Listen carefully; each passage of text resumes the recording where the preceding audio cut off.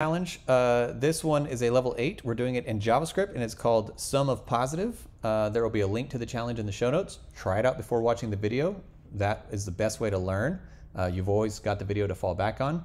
And the other great way to learn is to keep practicing. So subscribe to the channel and then you'll be notified every time I do a new video. So with that, uh, let's get started. We got an array of numbers, return the sum of all the positive ones. Uh, so let's, let's get a test here. Uh, so we'll grab that array and we'll pull up the console and we'll let r equal that. And so first we're going to do is filter all the ones that are positive. So you'll do an r and we'll call filter on there. This will take an item. Uh, it'll take a function and you can call that function uh, the parameter here. Uh, you can call it whatever you want. So it makes sense to call it a number, I guess. So we'll call it a number. Again, that's a variable that, uh, or a parameter that you get to name. And we want only the ones who are greater than zero. Okay, those are your positive numbers. So notice here that filters out that negative two. Um, and then once you have that, um, we can do a reduce. Okay, um, so we'll have, we'll reduce with a function and uh, I forget the order here. I think it's, uh, let's just fill this part out first real quick. So we've got, uh, we'll, we'll have our function in there.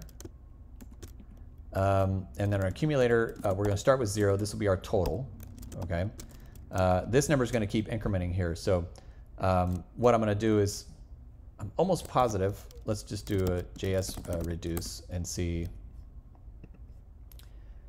So you give it a function, previous value, current value. Okay, so for us, uh, what that's going to be is the previous value is the total. That starts off at zero. That's what this second parameter does here. So my total is going to start off at zero. Uh, and then I have the current value. And so what we're doing here is we want to return, okay, let's, uh, whoops. We will return uh, the total plus the current value. Okay. So if we do that right, we run that, that's 13. Let's see if uh, it's going to match our test there, uh, and that will. Okay, so this is our, this is our goal. Um, I can probably just grab all this and throw it in there, and then just return here at the, at the very top. Okay, so return all that stuff I just copied and pasted from the console. Test this out. Looking good so far. Let's attempt a submission. Great job, y'all.